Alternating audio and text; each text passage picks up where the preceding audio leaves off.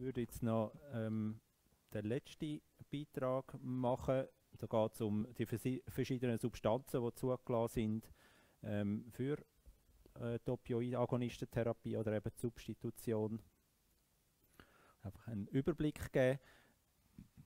Sie haben, glaube ich, alle auch da die Synopsis bekommen. Ich, es geht mehr oder weniger um das. Ähm, das ist sicher ein sehr ein schöner Überblick. Ich werde einfach die wichtigsten Aspekte äh, da rausnehmen. Und die, die es noch nicht haben oder noch äh, mehrere wollen mitnehmen auch für äh, Kolleginnen und Kollegen, es hat dort hinten noch mehr. Das ist ähm, herausgegeben worden von der, von der äh, Gesellschaft für Suchtmedizin. Eigentlich ist das ein, basiert mein Beitrag auf einem Artikel von meiner Kollegin der Miriam Kählin, die bei uns Oberärztin ist, aber jetzt heute leider nicht da sein kann, darum tue ich es vorstellen.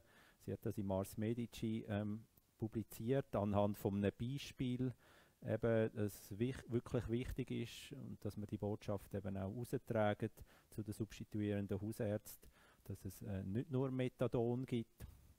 Das ist der Fall von einem 56-jährigen Mann, der ähm, auf der psychiatrischen Seite rezidivierende schwere depressive Episoden hat, hat einen regelmäßigen IV-Heroinkonsum schon seit einigen Jahren und äh, ähm, ist mit Methadon behandelt worden über Jahre. Hat immer wieder äh, dazu geführt, da, dass er einen, einen Beikonsum hat mit, mit Heroin.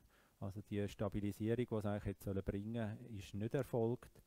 Auch mehrere stationäre Entzugstherapien haben keinen Erfolg gebracht. Dann hat man ihn umgestellt auf, auf retardiertes Morphin, auf das Produkt Sevrelong. Ähm, das hat eigentlich nur dazu geführt, dass er dann auch das hat angefangen IV konsumieren, also die Tabletten aufgelöst hat und, und das äh, initiiert hat, zusätzlich äh, zu Heroin von der Gas. Also ein unbefriedigender Zustand. Und er ist dann äh, zu uns gekommen, äh, um mit, mit der Bitte und dem Anliegen ins Diafin-Programm, also ins äh, verschriebene Heroinprogramm einzutreten. Und äh, seither, äh, seit er in dem Programm gut dosiert ist, ist er eigentlich beikonsumfrei, was die Opioide angeht. Also einfach so ganz kurz, äh, zum zeigen, dass es eben schon noch eine Rolle spielt, welches, ähm, welche Substanz das man wählt und dass nicht eine Substanz für, für alle gut ist. Aber dass man bei der Wahl von diesen verschiedenen Substanzen einiges auch muss beachten ähm, und, und eben das ist jetzt die Synopsis, die ich ähm, da vorstellen. Unter anderem eben auch die Anreichungsform, äh, wie man da schön sieht äh, in dieser äh, Bildauswahl.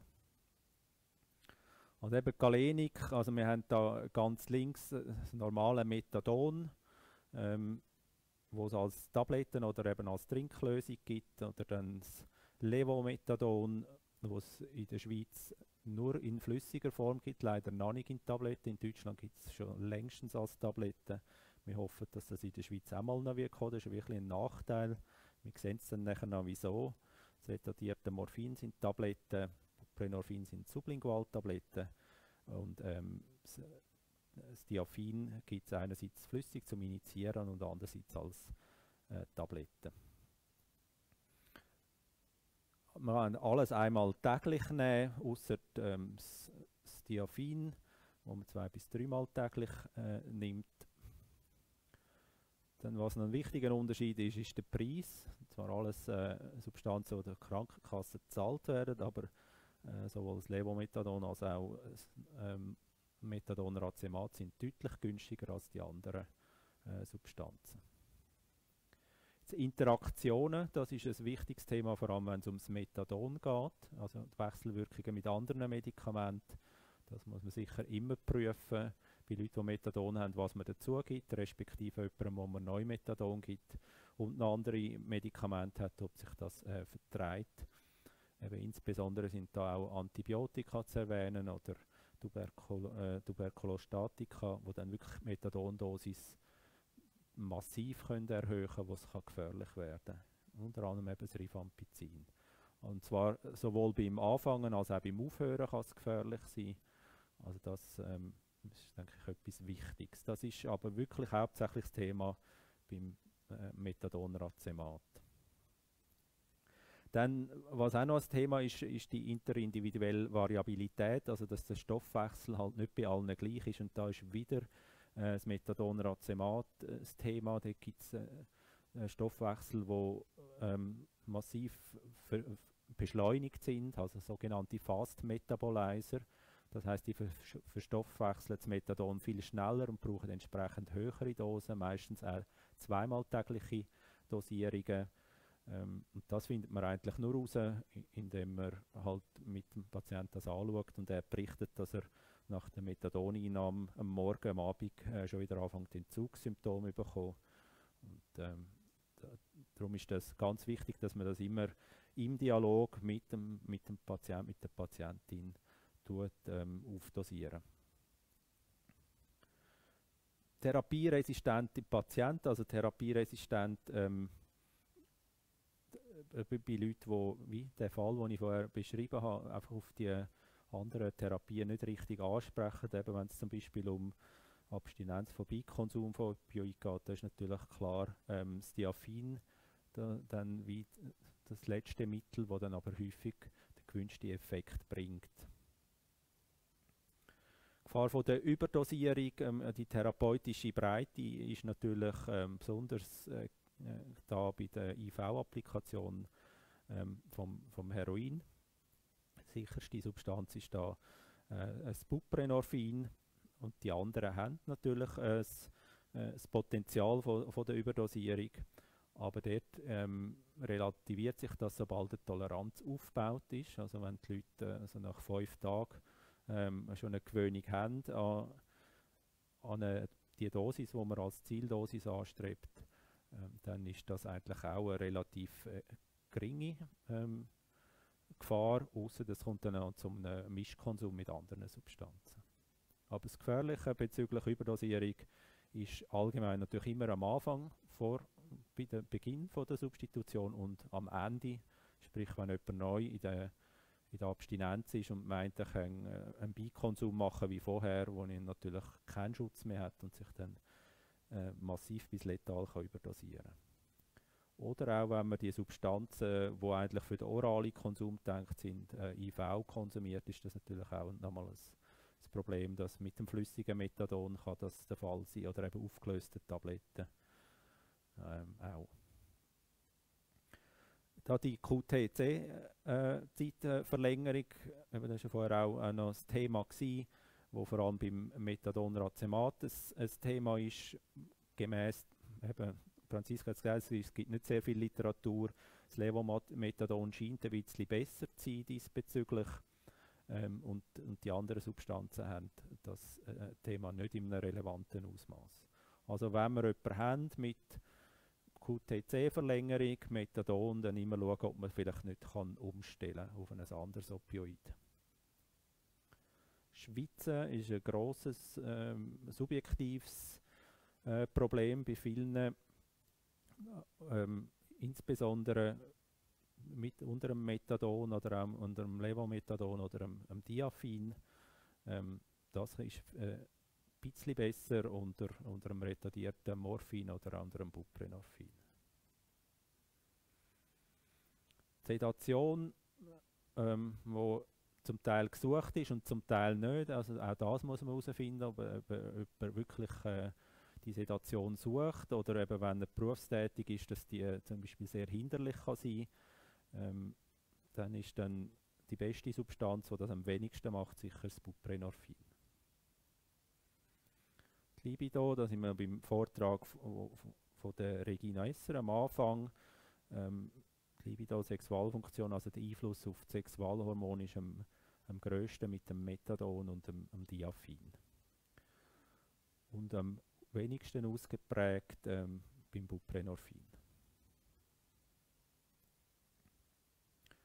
Also eben, wenn es darum geht, um, um, um die Wahl von, von, der, von der Substanz, ähm, immer dran, wenn etwas nicht gut funktioniert, eine Substitution oder aber auch bei einer erstmaligen Wahl, das immer sehr gut anschauen, all die Punkte durchgehen und vor allem immer auch die Patientin und den Patient ähm, einbeziehen. Und dann auch, wenn man eben das subjektive Ansprechen muss ein zentrales Element sein. Wie es wirkt, wie es empfunden wird, wie man kann funktionieren im Alltag.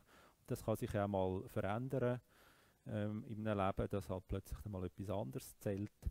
Äh, zum Beispiel eben, wenn man dann plötzlich muss funktionieren in einem Beruf, dass man dann vielleicht auch dort bei der Substitutionssubstanz etwas muss ändern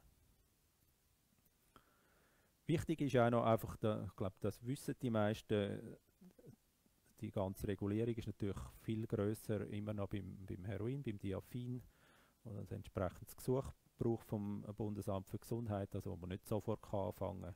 Der Rest kann man eigentlich sofort anfangen, aber es ist natürlich alles meldepflichtig. Jegliche ähm, Substitutionen müssen dem Kantonsarzt gemeldet werden, beziehungsweise der Kantonsärztin im Kanton Zürich. Das wär's. Ähm, besten Dank. Sind noch Fragen?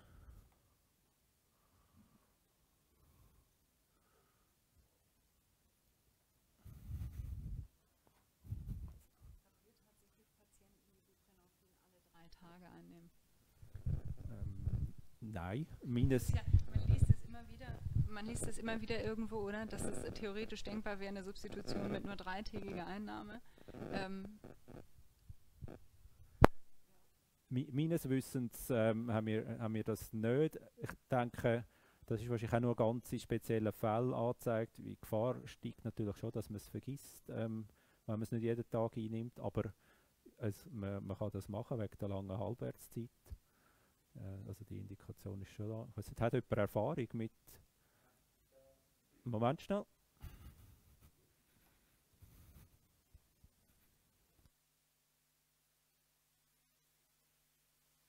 Feldtagen oder zwei, drei Tage kommt immer die Frage, sollen wir die Gleichdosierung geben? Nach meiner Erfahrung habe ich fast 15 äh, Jahre in diesem Domain und dann habe ich gemerkt, dass auch so äh, Affinität von Opiatrezeptoren, äh, die Affinität zu äh, partiell Agonist, äh, Buprenorphin ist sehr hoch, wenn sie bis sieben Tage einbinden. Das heißt, wenn ein Patient nach drei, vier Tagen kein Buprenorphin genau, das heißt, die Rezeptoren sind immer, die Agonistteile sind immer äh, besetzt. Ist. Deswegen nach drei Tagen selten, dass sie wirklich im Entzug erscheinen. Nur wenn sie Nebelkonsum haben und andere Substanzen. Aber meistens nach drei Tagen kann man schon die Gleichdosierung äh, Patienten weitergeben, ohne äh, den Abbau oder vom Anfang an die Dosis aufbauen oder aufdosieren. Vielleicht noch eine Bemerkung, das Buprenorphin gibt es in Deutschland bei uns noch nicht, aber wird wahrscheinlich auch als äh, Depotpräparat, eine Woche bis einen Monat, glaube ich, jetzt neu. Ähm, wo natürlich dann auch äh, für gewisse Patienten ein Vorteil kann sein aber das ich weiß nicht, wann das in der, in der Schweiz dann letztendlich zur Marktzulassung kommt. Weitere Fragen? Gut, dann wären wir am Schluss. Ganz herzlichen Dank nochmal der Referentinnen und, und der Referenten für die sehr spannenden Beiträge. Ich es war wirklich sehr ein informativer Abend. Gewesen.